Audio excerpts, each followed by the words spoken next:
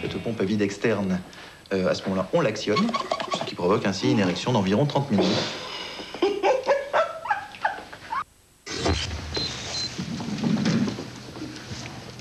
Mesdames, Messieurs, des nouvelles de Sydney Le dispositif est en place, monsieur. Entre les grands shows d'ouverture et de clôture en direct, Canal Plus se réveille la nuit à l'heure de Sydney et les matins ont le goût des grandes épreuves. Thierry Gilardi orchestre les grands directs en compagnie d'un invité et J au midi, votre magazine d'actu. Thierry Ray prend le relais à Sydney et toujours en direct pour votre deuxième rendez-vous, juste avant nulle part ailleurs. Et comment s'est effectuée la sélection de l'équipe?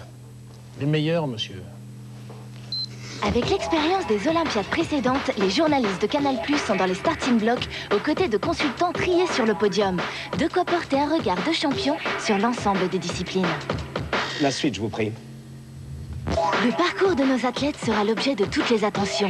Bien sûr, sujet exclusif à son canal sur place et le web en ligne 24 heures sur 24. Ah, attendez, attendez. Le direct s'invite à l'antenne à n'importe quelle heure du jour et de la nuit pour vibrer au grand moment. Et tout ça sans bousculer le cinéma. Pendant les Jeux sur Canal+, c'est JO 36 heures sur 24. Oui, oui, n'oubliez pas les 24 heures de verre.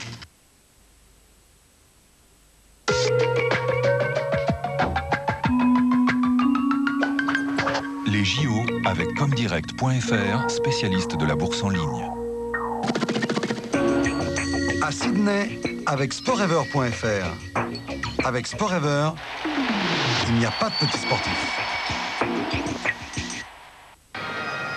Bonjour à tous et bienvenue une nouvelle fois au Superdome de Sydney pour euh, le deuxième grand événement de gymnastique artistique avec au programme aujourd'hui la finale par équipe euh, féminine qui regroupe à l'issue des épreuves de qualification les six meilleures formations. C'est exactement le même système euh, que lors de l'épreuve masculine que l'on a suivi ensemble hier, une épreuve féminine qui regroupe toutes les meilleures nations du monde, à savoir l'équipe de Russie championne championne olympique en titre et championne du monde euh, et vice-championne du monde derrière l'équipe de Roumanie qui elle aussi est bien évidemment présente. L'équipe d'Ukraine elle aussi fait partie de ces euh, six dernières équipes, l'équipe de Chine, l'équipe des États-Unis et enfin l'équipe euh, d'Espagne pour suivre cette évolution gymnique.